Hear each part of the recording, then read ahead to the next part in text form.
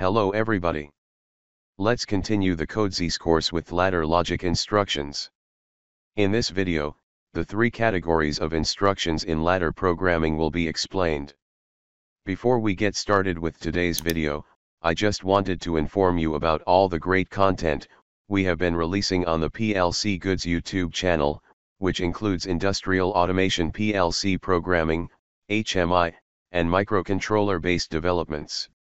My name is Seyedreza, and if you enjoy this video, I would appreciate it if you could click the subscribe button as well as the notification bell, to receive the latest and the greatest content, I will be posting through the channel. Well, like the previous videos, a standard project has been created. On the right side, ladder instructions can be seen. Now, let's start with the last category. Ladder elements. The first item is network. As you know, each part of a program has to be written on a network. Well, these bit instructions related to contacts and coils, and also timer and counter instructions were explained during the previous videos. Now, let's see how a move instruction works. Its first input is used to enable it. After that, it copies the specified value at its input, to the destination variable on the right side. Note that, if you define a new variable as the destination variable, based on the input data type, automatically a suitable data type will be selected. Now, the input is a real number with a fractional part. As you see, the selected data type is LReal. It's an abbreviation of large real numbers. Because the entered number is small, I can use real format too. Now, let's use another data format. For example, let's select int, which is used to store integer numbers. So, this data type cannot store real numbers with their fractional part. As you see, this red line represents here is a problem. Now, let's download the program.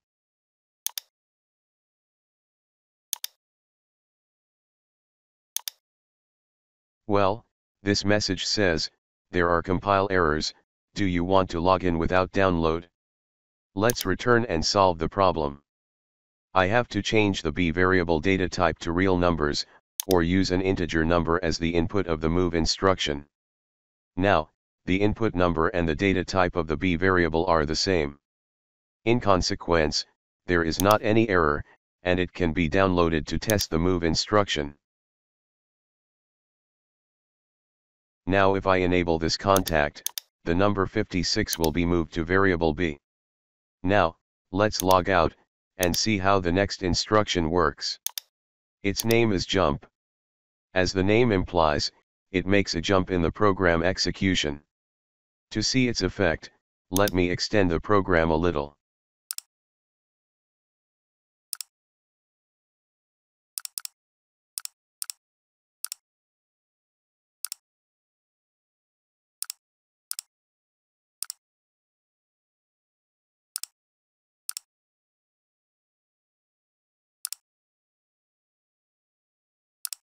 Well, the jump instruction directs the execution of the program to another network. Now, let me add a label to the last network, and then select it as the jump destination.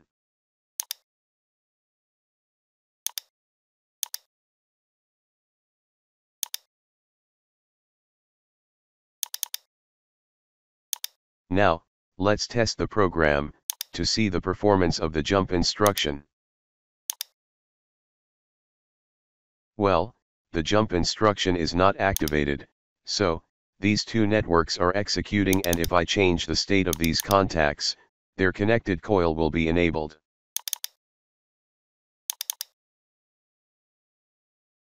Now, let's enable the jump instruction, which directs the execution of the program to the third network. Therefore, the second network is not executing, and this contact is not able to turn on this coil. Alright, let's learn another instruction. Its name is return. Let me change my program a little and then use the return instruction.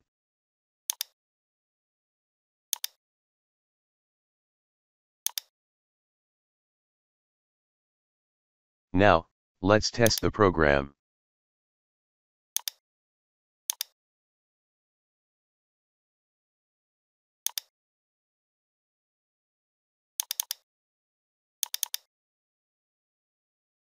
As you see, only the first coil has been enabled. Because, when a return instruction is enabled inside a program organization like the current one, or inside a function or function block, the remaining program, after the enabled return instruction won't be executed. Alright, the last two tools, inside the ladder elements category, add branches to the program. Now, let me change the program a little, and then use them.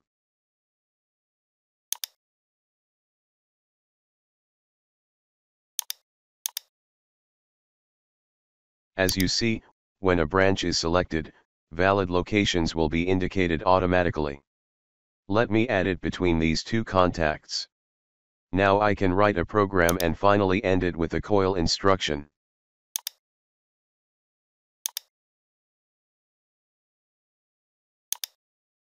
OK, let me use the undo icon, and then use the last ladder element. Branch with start and end. Similarly, when it is selected, valid locations are specified automatically. After selecting a location as the start point of the branch, valid locations as the end point of the branch, will be indicated. Well, let me add another branch.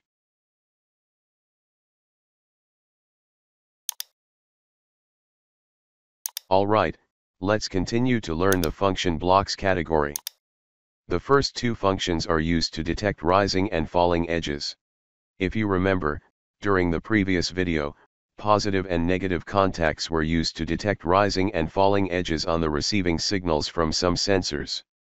Again, let me change my program a little to use negative contacts and its similar instruction, falling trigger. Well, this is a positive contact to detect rising edge. Let's test its negative type. This program can detect falling edges on the state of the C variable. In other word, if it is enabled, and the state of the C variable changes from 1 to 0, this contact will produce one pulse. Now, let's write its equivalent program with the falling trigger instruction.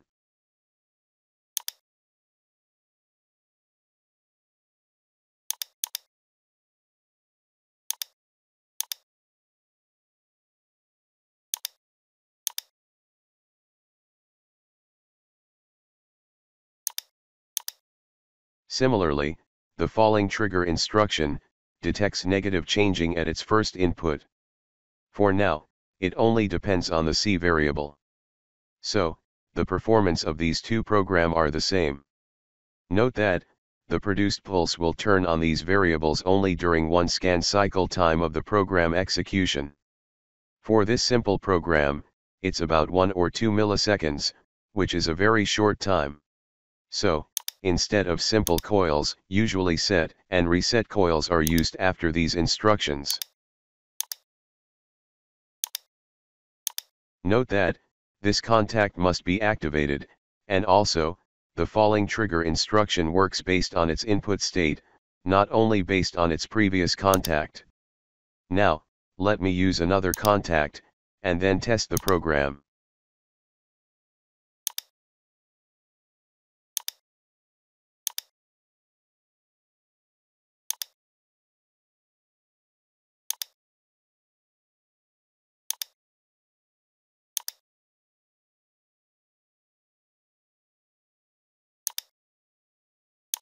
As you can see, I cannot use only the C variable to turn on the output coils. Based on the program, I must enable the first contact. After that, if the state of the C variable changes from 1 to 0, the program will active these variables, by using two set coils. Alright, the next two instructions are SR, and RS.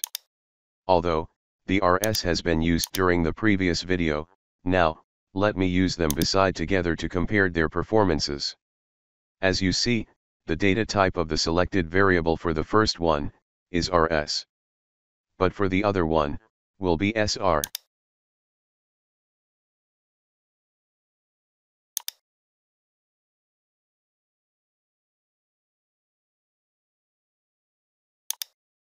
Note that, these instructions have two inputs to set and reset their connected coils.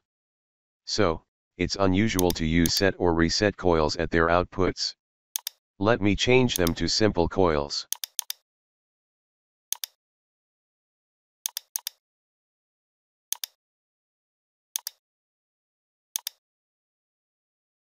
Again, let's test the program.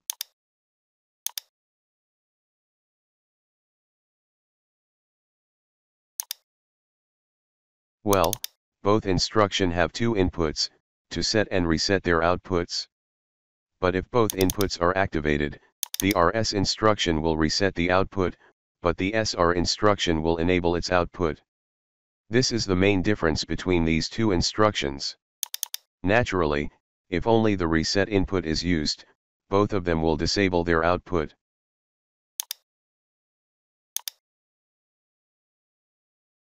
Alright, the next category is other operators.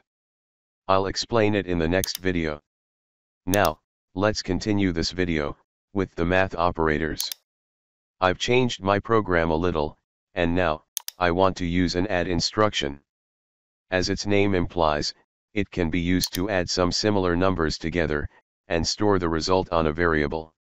Note that, if a new variable is used to store the result, automatically, CODESYS will select an appropriate data type for that. Now, the selected data type is uint, which is an abbreviation of unsigned integer numbers. Because it wants to store the result of adding two positive integer numbers. Note that, I can use the input item, to increase the number of inputs of some math operators.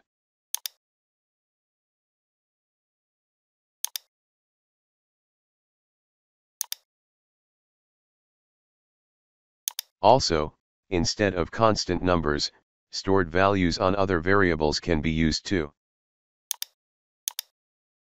Similarly, the next three instruction can be used for subtracting, multiplying, and dividing. Now, let's use the sub instruction.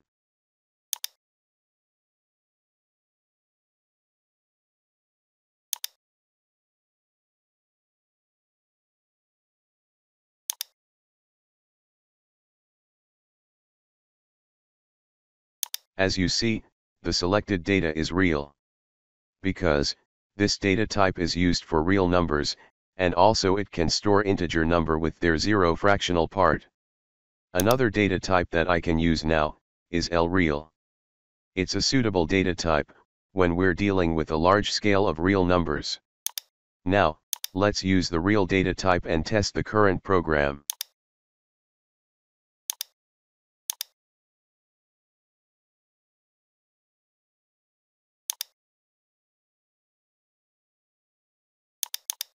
As you see, when I enable the math operators, they will store the results on the defined variables. Note that, like Boolean variables, I can change stored numbers manually, and then press Ctrl plus F7 on my keyboard.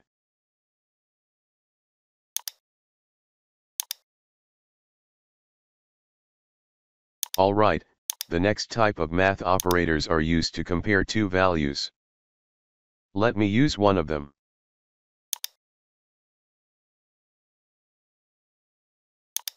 Well, this math operator is called less than. It takes two numbers with the same data type. If it is enabled, and the value specified at the first input is less than the second input, its output will be enabled and can be used to turn on a digital output.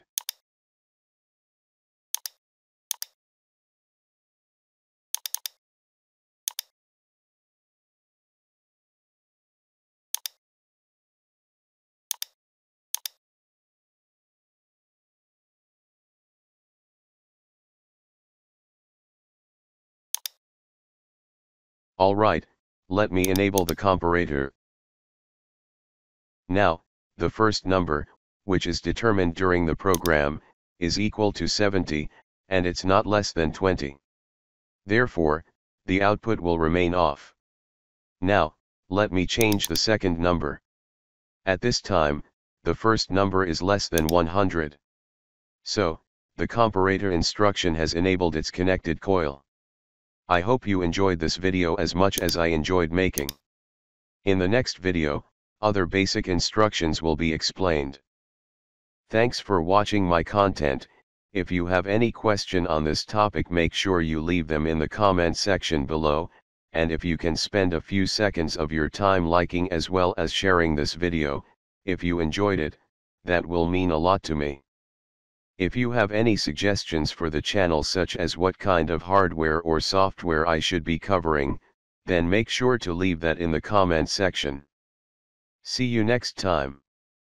Bye bye.